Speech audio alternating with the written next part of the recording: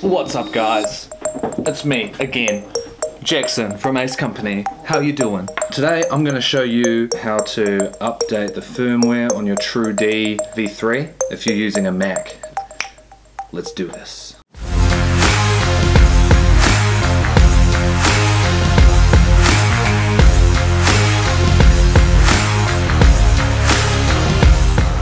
I did this the other day and it was a little bit hard finding all these tutorials. Had to kind of mesh a bunch of different tutorials for different things together to get it working. Uh, so I'm going to try and put it all in one video and show you how to do it nice and easy. There's a few things we need to get. Obviously a firmware loader. We want to get the firmware, which is a hex file, and then we have to do a couple of commands in the terminal of OS X itself. You can download the TrueD updater, but you need to install a couple of other things for it to work. So this is in Chrome. Uh, two of the main links you need um, are actually on the Furious FPV website. The links you need are the TrueD firmware loader for Mac, and then also I have here, uh, you just go to the product page and on download, you've got download firmware here, boom. V3.6, which is exactly what we want. Um, so I'm going to go ahead and download those. Thank you very much. It's going to say one here because I've already downloaded it. Uh, and then also we're going to download the firmware.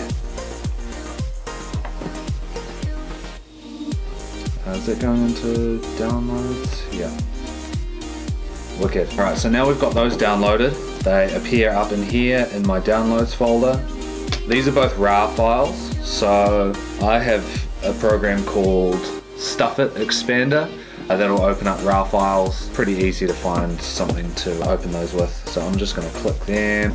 I'm to just go ahead and expand it onto the desktop. Cool. Um, I'm also going to do that for the update firmware. Now I have the updater and I also have the firmware. So in this folder, after you've unzipped it, you'll find a TrueD v3 hex file. And in the update firmware on Mac folder, you'll find the TrueD firmware loader.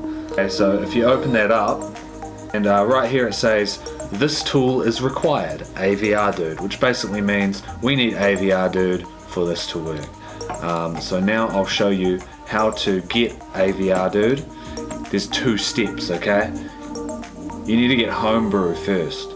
This is where the terminal commands come into play. Basically, we'll just command space, that'll bring up the Spotlight search terminal, find it right there. Uh, that'll open up terminal, and then instead of typing all this here, you just throw it in, you just copy and paste it. Um, this is going to download a program called Homebrew. This is the bit that's going to make you feel like an elite hacker, okay? We're gonna copy paste this, Command C, Command V, hit return. It's gonna go through all this. Um, press return to continue or any other key to abort. Let's just hit return. It's gonna ask you for a password right down the bottom, right in here. My password is pretty easy. Downloading and installing Homebrew might take a little while, but um, it's worth it. Hard for me to tell if it's finished installing or not.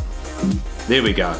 Okay, so once you get the flashy screen and the boop, that means it's all good to go, okay? So this is the tool you need to install AVR Dude. Basically what we do here is type another command in there and it's literally just brew install AVR Dude. You can see how I've typed it right here. I'll, um, I'll put it down in the description as well. Pretty much you just got to wait until it says done and then um, once you've done that it's good to go. Uh, once that's done you can exit out of terminal and then what we'll do is open up guideline update firmware on Mac folder and launch the TrueD firmware loader. Um, we're to plug this in. Just boot it up, plug in first and then open the firmware loader. And then we have SLAB USB to UART right here, Okay. Under TrueD firmware, we're going to hit Browse, go to the desktop where you saved um, the firmware, go into that folder, grab this here .hex file, open, and then hit Flash Now. And if we've done everything right, it's going to say good on you, mate. You've done it right. And then we go, it reboots, uh, and then it's going to beep like this.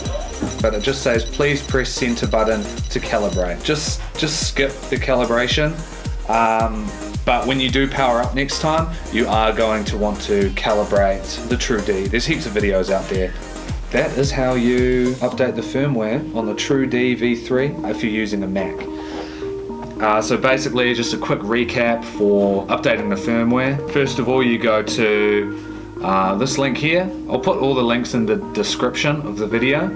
Um, you want to get the firmware loader for Mac, download that file. You want to go to the product page of the TrueD um, and then go to downloads right here, firmware TrueD v3.6. Download that. Then they're going to save as a RAR file so you need to unzip those or kind of like expand them. And then you're gonna open up terminal, gonna copy and paste this here under install homebrew. Once that's installed, you're gonna type in brew install AVR dude, hit enter. Once that's installed, plug your TrueD in, open up the TrueD firmware loader and then select the USB to UART option. Find the firmware that you want to update it with, throw that hex file in there and click flash now. And once that's all done, it'll reboot, ask you to calibrate and then you're good to go. Chuck it back in your goggles, go flying. If you have any questions, just leave them down in the comments. If you found this helpful, maybe chuck a like on there, subscribe. We're going to be doing heaps of videos uh, like tutorials, flying videos, lifestyle videos, living the FPV dream. Um, so if you like that kind of thing, like, subscribe, and share if you want to. This has been Jackson from Ace Company. I'll see you later.